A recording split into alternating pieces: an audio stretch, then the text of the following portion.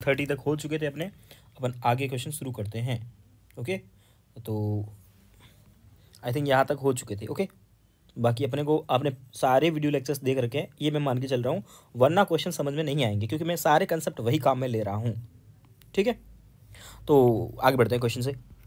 The which of the compound will exhibit linkage isomerism अब linkage isomerism के लिए क्या होता है?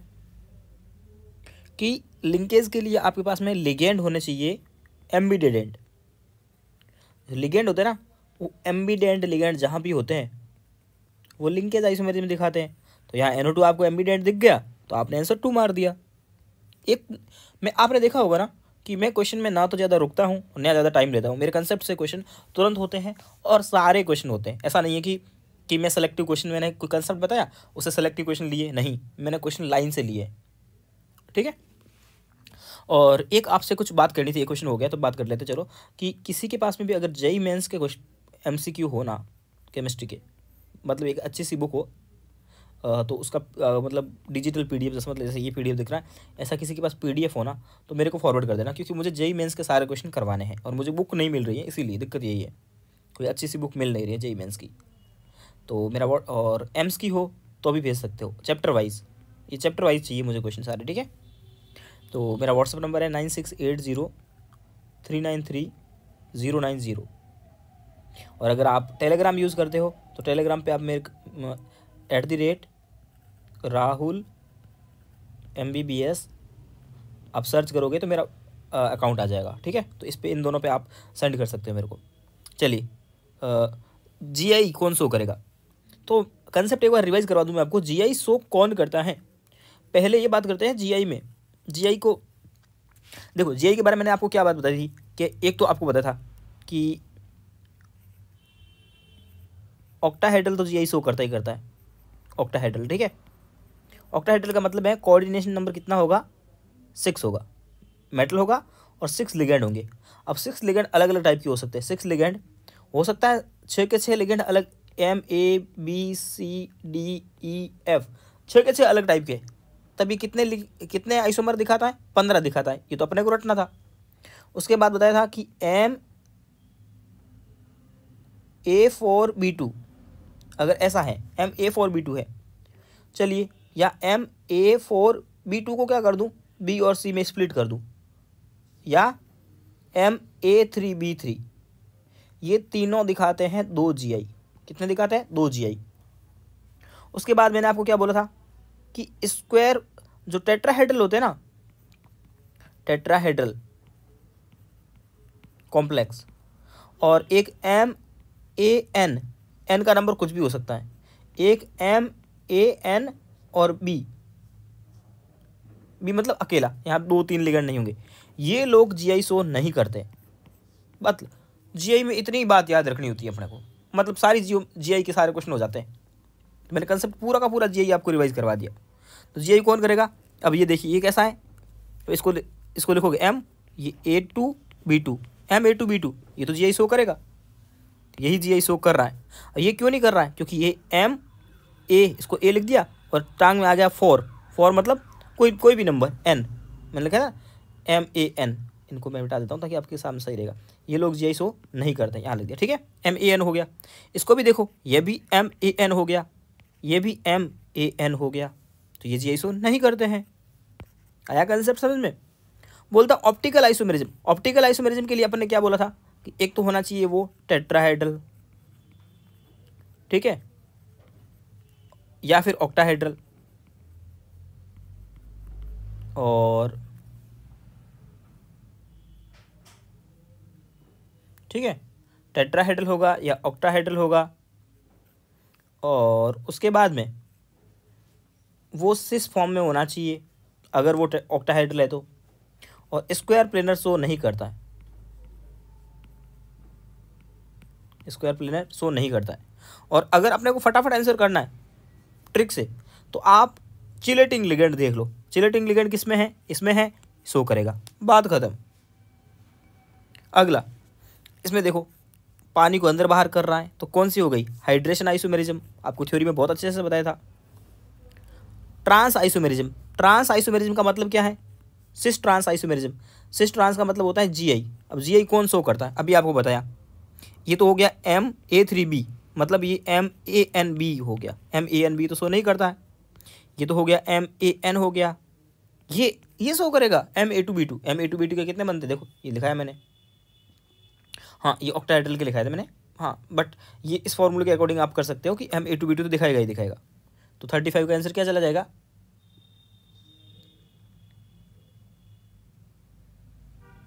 नहीं नहीं ऑप्शन नीचे हैं भाई साहब। बड़ी गलती कर रहा था मैं भी। ठीक है ऑप्शन नीचे हैं। तो पहला वाला तो नहीं दिखाएगा तो ऑल नहीं हो सकता। ए नहीं हो सकता। ये दिखा रहा है तो नन भी नहीं होगा।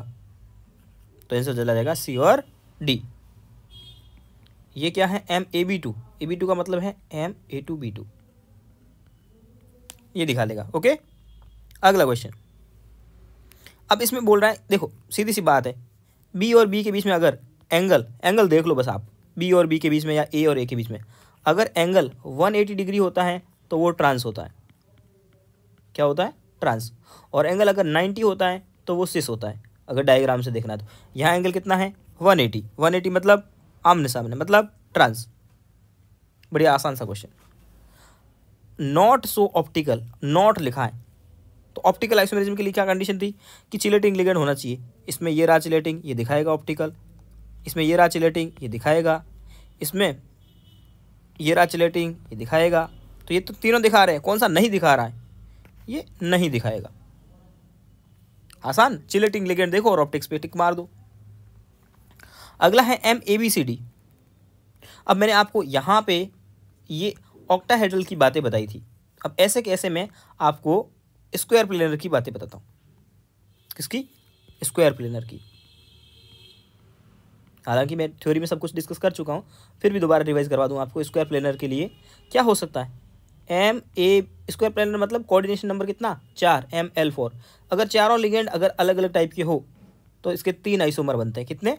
तीन आइसोमर बनते। हैं अगर M A two B C हो, तब इसके दो आइसोमर बनते। हैं अगला क्या हो सकता है? एम ए थ्री बी तो ये तो ये तो उस टाइप का बन गया। M A N B one B तो ये आइसोमर शो नहीं करेगा। अगला क्या हो सकता है? एम ए फोर तो ये तो एम ए एन टाइप का हो गया। तो ये भी नहीं शो करेगा। हाँ बस इतनी तो इन्फॉर्मेशन होती है। ऑक्टाइडल के लिए स्क्वायर प्लेनर के लिए जीआई सारी समाप्त हो गई। तो M A B C D कितने दिखाएगा? तीन। तीन। जी आई अब आप बोलोगे कि ओ आई क्यों नहीं कहा?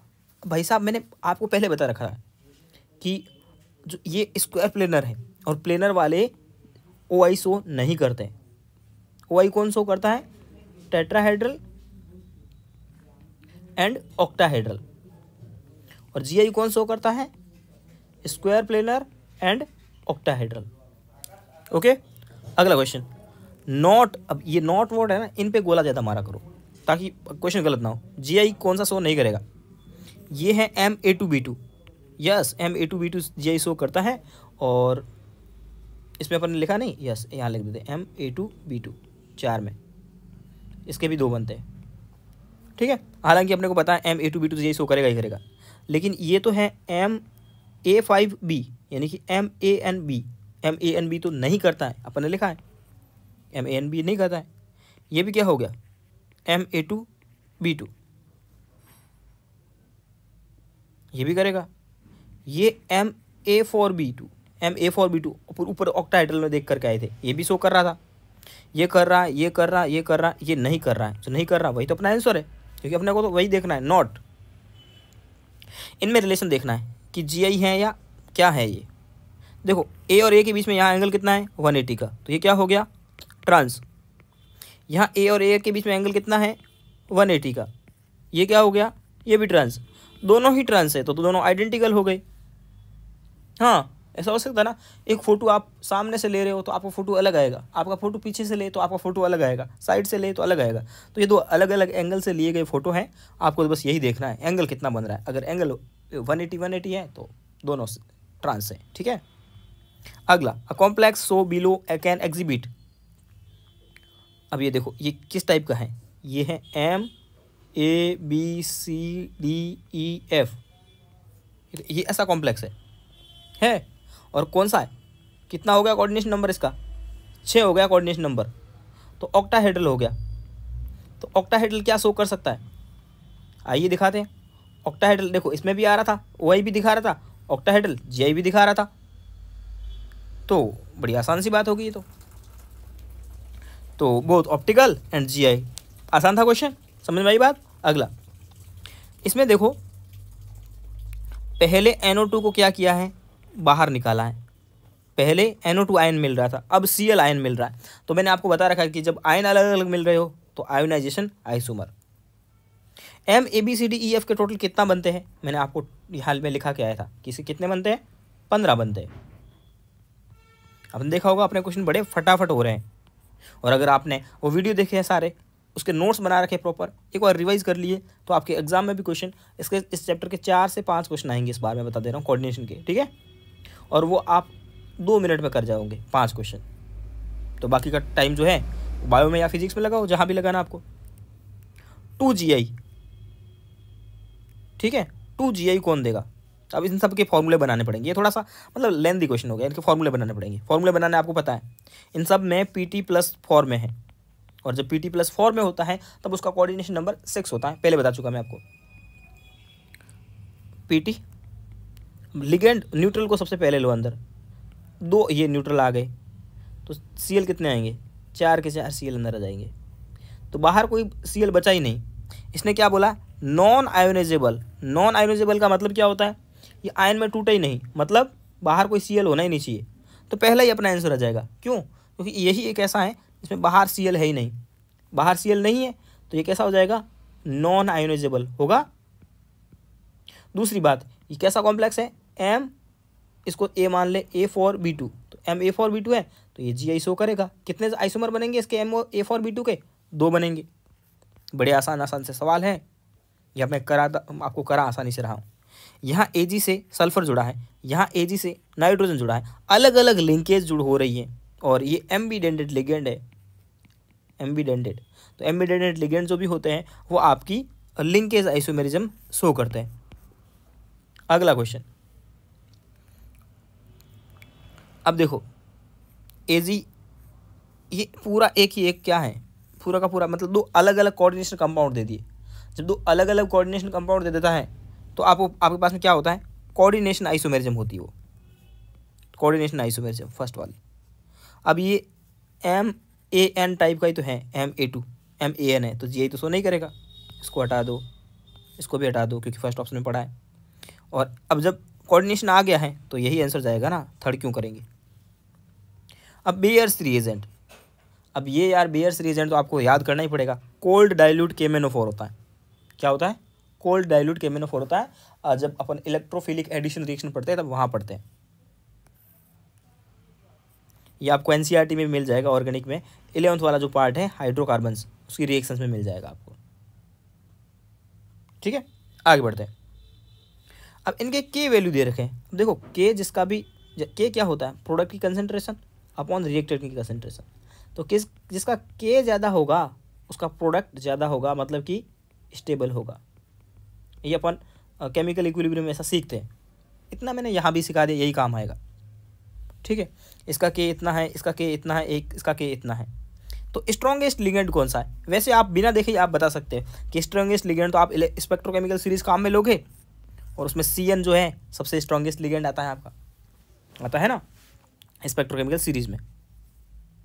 Not a chelating ligand chelating ligand मतलब ई एन चिलेटिंग होता है डी एम जी सिलेटिंग होता है। ये सब थ्योरी में पढ़े अपन लोग। और तो यहाँ पे डाइग्लिसिनेटो ये ये तो सिलेटिंग है। इथाइलिन डाइमीन ये सिलेटिंग है। ये फिर से डीएमजी है, ये भी सिलेटिंग है।